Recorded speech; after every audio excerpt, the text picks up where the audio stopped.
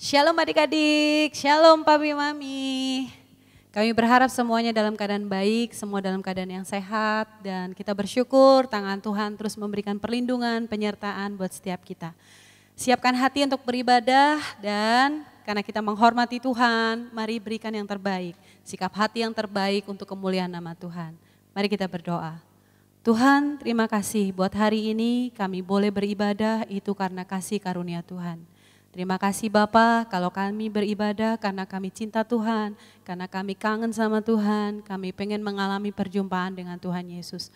Urapi setiap adik-adik Starji, urapi papi mami, urapi seluruh keluarga besar kami, urapi setiap kami yang menyaksikan bahkan mengikuti ibadah ini ya Tuhan. Urapi semuanya, berkati semuanya. Dan kami percaya kasih karunia Tuhan, damai sejahtera Allah yang melampaui segala akal, itu yang menyertai dan mengurapi kami. Oleh kuasa roh kudus, mujizat dan kesembuhan, penyertaan Tuhan sempurna atas kehidupan kami. Terpujilah nama Tuhan Yesus Kristus, kuduskan ibadah ini dari awal sampai akhir. Terpujilah nama Tuhan Yesus, haleluya. Amin. Selamat hari Minggu, selamat beribadah. Tuhan Yesus memberkati.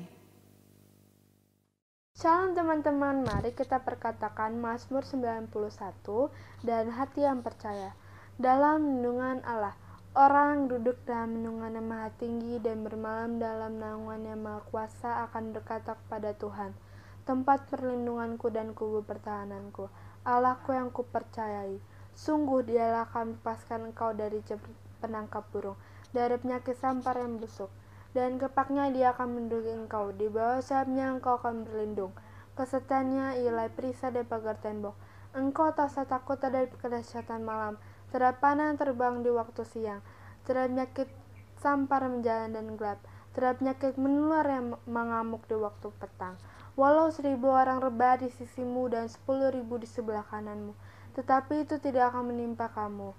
Engkau hanya menontonnya dan matamu sendiri dan melihat pembahasan terhadap orang-orang fasik. Sebab Tuhan ialah tempat perlindunganmu. Yang maha tinggi telah kau buat tempat pertudahanmu. Malah petaka tidak akan menimpa kamu, dan tulah tidak akan dekat kepada kemahmu. Sebab malaikat-malaikatnya akan diperintahkannya kepadamu untuk menjaga engkau di segala jalanmu. Mereka akan menantang engkau di atas tangannya supaya kakimu jangan terantuk kepada batu. Singa dan ular teduh akan kau langkahi. Engkau akan menginjak anak singa dan ular naga. Sungguh hatinya melekat kepadaku, maka aku akan meluputkannya. Aku akan membentenginya sebab ia mengenal namaku. Bila ia berseru kepadaku, aku akan menjawab. Aku akan menyertai dia dalam kesesakan. Aku akan meluputkannya dan memuliakannya. Dengan panjang umur akan ku kenyangkan dia dan akan kuperlihatkan keselamatan daripadaku. Amin. Shalom teman-teman, mari kita deklarasikan Pentakosta ketiga. Satu, Pentakosta yang ketiga adalah pencurahan roh kudus yang dahsyat di zaman now. Dua, Pentakosta yang ketiga adalah penayangan jiwa terbesar dan terakhir. Tiga, Pentakosta yang ketiga adalah bangkitnya generasi Yeremia dipenuhi roh kudus cinta mati-matian terhadap Tuhan Yesus, tidak kompromi terhadap dosa dan akan bergerak memenangkan jiwa. 4. Pentakosta yang ketiga layaknya di Indonesia bergerak bangsa-bangsa gerakan ini dari timur ke barat dan akan kembali ke Yerusalem. 5. Pentakosta yang ketiga adalah kuasa untuk menjelaskan amanat agung. Amin. Tuhan Yesus memberkati. Standby.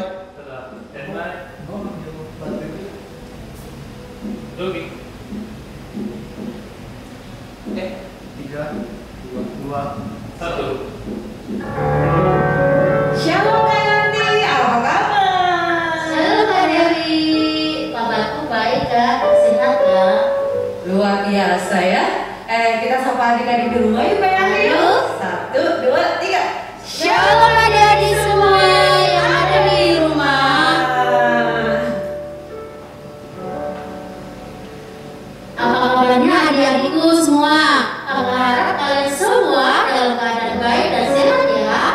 Nah adik-adik sudah siap beribadah?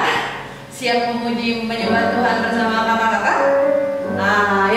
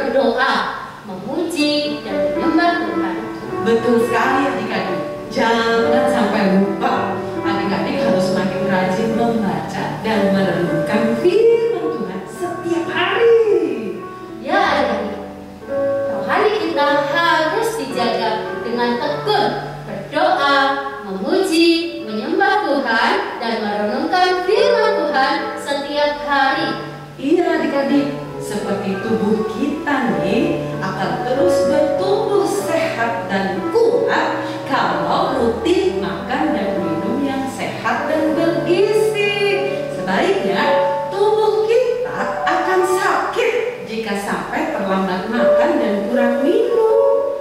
Seperti lagu ini, kita nyanyikan bareng-bareng ya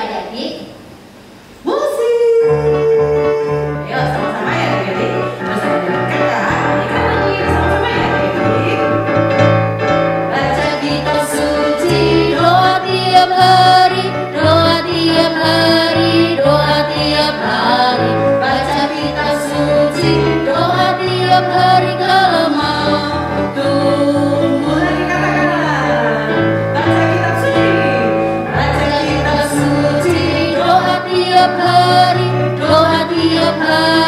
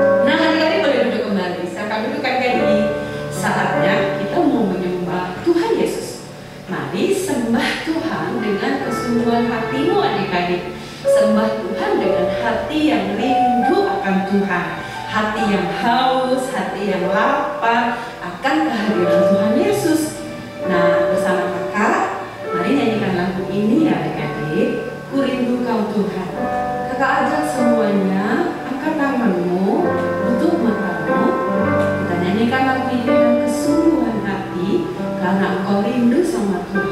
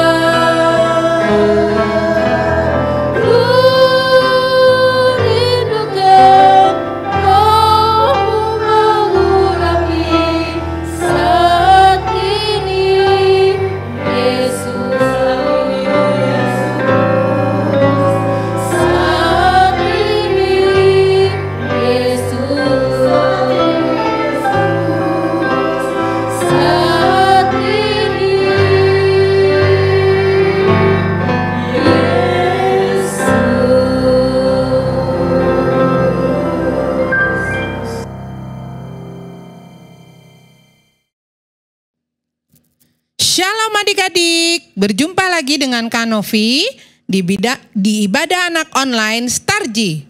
Kakak berharap keadaan adik-adik semuanya baik dan sehat ya. Nah, sebelum adik-adik dengarkan firman Tuhan, yuk mari kita satukan hati. Kita mau berdoa lebih dahulu ya. Mari kita berdoa adik-adik. Tuhan Yesus yang baik, terima kasih Tuhan buat penyertaan-Mu Tuhan hingga saat ini. Tuhan Yesus, kami sudah memuji dan memuliakan namamu. Sekarang kami ingin mendengarkan firman-Mu Tuhan. Urapi mata telinga hati kami Tuhan supaya kami bisa mendengarkan firman-Mu dengan baik. Terima kasih Tuhan, kami mengucap syukur hanya di dalam nama Tuhan Yesus Kristus. Haleluya. Amin. Nah, adik-adik, uh, pagi ini Kanovi mau menyampaikan firman tentang prajurit yang diubahkan, yaitu tentang uh, seorang prajurit yang bernama Cornelius. Nah, Cornelius menerima Roh Kudus diambil dari Kisah Para Rasul 10 ayat 1 sampai 48. Nah, adik-adik, nah di suatu kota Kaisaria ada seorang perwira Nah, uh, disebut pasukan Italia nama namanya adik-adik. Nah, perwira ini bernama Cornelius. Nah, Cornelius ini adalah seorang hmm, perwira yang takut akan Tuhan. Nah, isi rumahnya juga takut akan Tuhan adik-adik. Nah, dia senang bersedekah, dia rajin berdoa kepada Tuhan ya. Nah, Cornelius ini uh, orang yang taat loh adik-adik. Nah, kemudian tiba-tiba adik-adik uh, Cornelius didatang didatangi oleh seorang malaikat adik-adik. Nah, uh, malaikat itu berkata adik-adik kepada Cornelius, uh, Cornelius, uh, Cornelius kaget. Wah, ya Tuhan. Nah, malaikat itu berkata, dia mau menyampaikan bahwa uh, Allah mengingat Cornelius. Nah, pada saat malaikat itu datang, ternyata malaikat itu mau menyuruh uh, Cornelius agar Cornelius menjemput seorang Yahudi yang bernama Petrus di kota Yope. Nah, akhirnya setelah menyampaikan, kemudian uh, Cornelius memanggil dua orang hambanya dan satu orang prajuritnya. Nah, Cornelius menyuruh mereka untuk menjemput uh, seorang Petrus di kota Yope. Kemudian uh, keesokan harinya Petrus pada siang hari dia pergi untuk berdoa adik-adik ke atas rumah. Nah, Petrus ini tinggal di rumah seorang penyamak kulit ya, namanya Simon adik-adik. Nah, pada saat siang itu dia mau ke atas untuk pergi berdoa. Akan tetapi ternyata dia merasa perutnya lapar adik-adik. Nah, uh, kemudian pada saat itu dia kaget datang, ada datang seorang malaikat juga menyuruh, nah Petrus untuk, nah me, memakan daging binatang yang haram, tetapi tidak mau. Nah, tuh adik-adik ada ada ini ya, ada kain putih besar turun ke bawah yang di dalamnya itu ada berbagai macam binatang loh. Nah, itu Petrus boleh memakannya karena malaikat sudah boleh uh, menyuruh Petrus, tetapi Petrus tetap tidak mau adik-adik. Nah, kemudian uh, tiga uh, malaikat menyuruh Petrus untuk memakannya sudah menyuruhnya se, uh, tiga kali, tetapi tetap Petrus tidak mau uh, memakan binatang itu adik-adik. Nah setelah itu uh, terangkat kembali adik-adik kainnya lah. Roh Kudus berkata lagi kepada Petrus uh, bahwa Petrus harus turun ke bawah untuk menemui tiga orang utusan dari Cornelius adik-adik. Nah, kemudian dia turun ke bawah uh, rumahnya dan dia temui ada tiga orang utusan dari Cornelius. Nah, kemudian ketiga utusan Cornelius uh, menyampaikan pesan kepada Petrus agar Pet, uh, Petrus uh, diminta diundang untuk uh, datang ke tempat uh, kediaman Cornelius. Nah, kemudian Petrus menerima lalu dia menyuruh uh, tiga hambanya itu untuk menginap dalam satu malam ini. Keesokan harinya adik-adik Cornelius mulai berjalan dengan uh, tiga prajurit tadi ke kota Kaisaria untuk menemui um, Cornelius. Nah, setibanya di Kaisaria, Petrus disambut dengan senang hati ya adik-adik. Nah, Cornelius dan keluarganya sudah berkumpul adik-adik di rumahnya dan menyambut sangat senang sekali dengan kedatangan uh, Petrus adik-adik. Nah, pada saat sampai di sana adik-adik, Petrus terpikir, uh, ya maksud uh, penglihatan kemarin yang binatang itu. Nah, Cornelius uh, berpikir bahwa dia uh, arti dari penglihatannya itu dia uh, harus uh, mau um, bergabung dengan uh, orang yang bukan orang Yahudi juga ya. Nah, bahwa Tuhan meng, uh, mengatakan bahwa kita tidak boleh membeda-bedakan suku bangsa dan uh, yang lainnya ya adik-adik kita harus sama. Nah, kemudian di situ Corneli uh, Petrus uh, bersaksi bahwa dia dipenuhi oleh Roh Kudus dan dia percaya bahwa Tuhan Yesus itu adalah juru selamat kita. Nah, adik-adik. Nah, setelah bersaksi, kemudian semua para para keluarga dan orang-orang yang uh, ada di situ dipenuhi oleh Roh Kudus. Nah, oleh sebab itu mereka uh, sangat bersuka cita adik-adik setelah mendengarkan kesaksian dari Petrus. Nah, seperti itu adik-adik. Nah, ayat hafalan kita minggu ini yaitu kita ambil dari Yohanes 15 ayat 12 yaitu supaya kamu saling mengasihi seperti aku telah mengasihi kamu. Nah, adik-adik boleh ya nanti dihafalkan di rumah ayat hafalan ini. Nah, adik-adik dari cerita firman ini kita belajar bahwa satu, Tuhan Yesus mengasihi semua manusia. Nah, yang kedua, Tuhan Yesus berikan roh kudusnya supaya yang percaya padanya diselamatkan dan menjadi saksinya. Nah, adik-adik, mari angkat tanganmu, tutup matamu, kakak mau berdoa buat adik-adik. Tuhan Yesus yang baik, terima kasih Tuhan kami sudah mendengarkan firman-Mu. Tuhan, jadikan kami anak yang taat uh, akan Tuhan. Terima kasih Tuhan. Kami mengucap syukur hanya di dalam nama Tuhan Yesus Kristus. Haleluya. Amin. Shalom teman-teman, mari kita berdoa. Tuhan Yesus, terima kasih untuk ibadah kami hari ini. Terima kasih Tuhan Yesus hadir mengurapi kami. Terima kasih buat firman-Mu. Tolong adik-adik bisa mengerti dan melakukan firman-Mu. Berkati kakak-kakak Starji yang melayani, dan kami semua yang beribadah dengan sungguh-sungguh.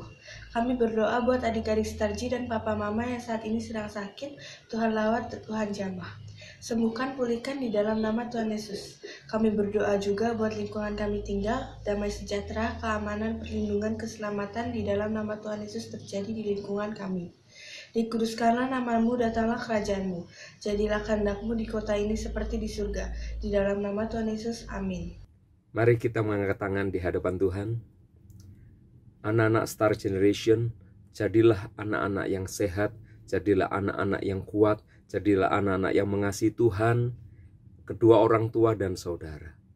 Terimalah segala berkat yang dari Allah Bapa kita, di dalam Kristus Yesus Tuhan kita, penyertaan dari Allah Roh Kudus, menolong setiap anak-anak Star Generation, orang tua, dan juga guru-guru mulai hari ini sampai selama-lamanya.